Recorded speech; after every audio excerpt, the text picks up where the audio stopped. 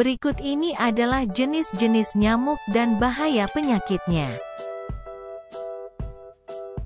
1. Jenis nyamuk kuleks. Nyamuk ini dapat menyebarkan parasit filaria sebagai penyebab kaki gajah melalui gigitannya.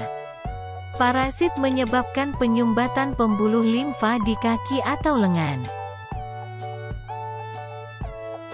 2. Nyamuk Anopheles Nyamuk ini dapat menyebarkan parasit plasmodium penyebab penyakit berbahaya yakni penyakit malaria.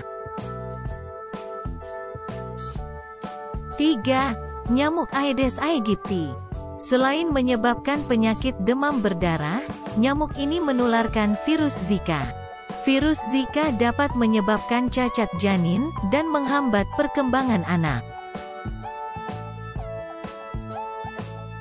Berikut cara menghindari gigitan nyamuk. 1. Gunakan produk pembasmi nyamuk. 2. Pastikan tidak ada genangan air.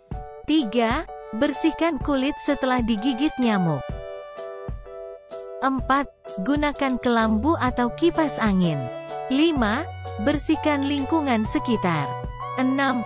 Pakailah lotion anti nyamuk.